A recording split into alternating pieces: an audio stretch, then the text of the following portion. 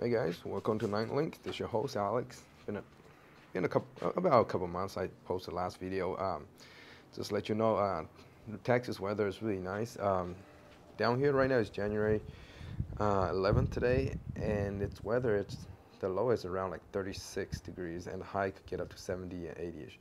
So I decided to put my plants outside a lot earlier than um, I used to be in Kansas. Uh, in Kansas, I remember I took it out, took the plants out usually around uh, April, end of April or early May. So that shows you a, uh, you know, temperature difference between the two states. Uh, of course, uh, I do know that um, there are some times in Texas in January or February, usually sometimes, sometimes, not all the time, uh, sometimes we'll get below like, you know, 20 degrees.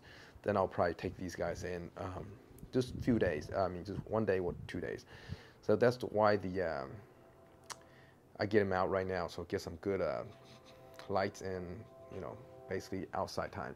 So I want to point out something really uh, interesting today. So if you uh, look at these leaves, they are actually grown inside the uh, house before I brought it out. So I want to show you something. It's like if you look at this leaf, you can see right away. I don't know if you can see it.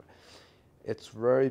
Um, if you look at it in the dark area in the dark room, it's just green. But if you look at outside with the sun shining through it, it's look almost transparent. So it's not as green as dark as the, um, the uh, regular leaves that were you know grown outside. Let me find a leaf that were used to grown outside from last season if, if this plant has any. Um, let me see. Maybe this this one maybe. Um, if you can look at this one, there's no light shining through it.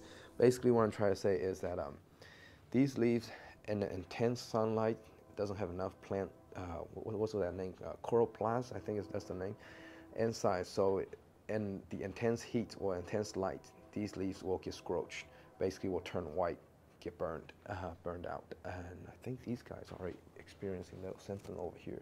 If you can see it right there, it's kind of white. Uh, let me see if I can get closer to it. Yeah, it's white on the back already. It's being scorched on the back. Um, it's basically when you have a plant grown in, indoor, and when you bring bring it outside, uh, just don't feel you know bad about seeing plants leaves getting turned white, getting burnt uh, by the lights, intense light outside.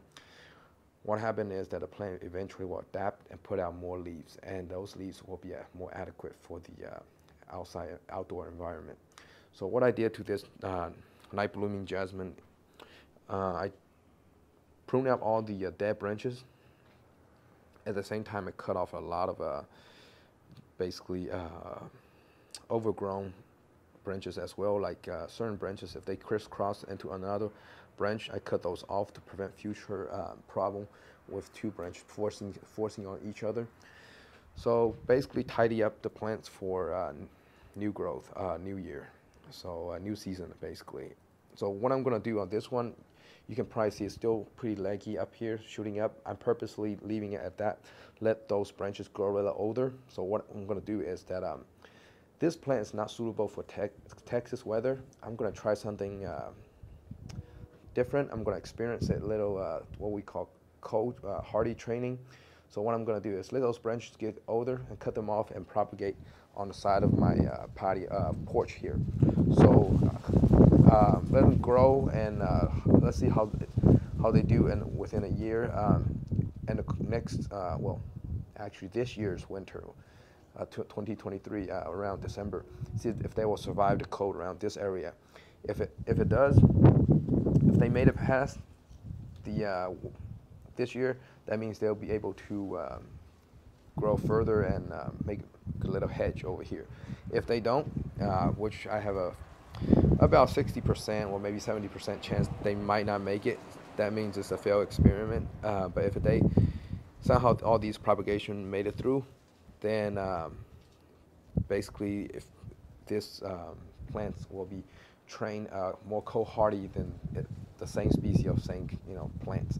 Basically, if you buy the same exact plant, my plants will have a lot more cold resistant than the other plants. But anyway, that those are some scientific, you know, little experiments I put on the side. But anyway, just want to show you guys a little update and also regarding about my cymbidiums. I put it on the front too, the back um, this house's uh, face facing direction is actually the same as my uh, Kansas house. So the back patio is the where the intense light um, very hot area is. So those will be for like uh, you know neem trees and stuff in the back. and jasmine as well. Excuse me. Oh, by the way, allergy sucks down here. Um, okay. Anyway, I'll see you next time, guys. Take care of you.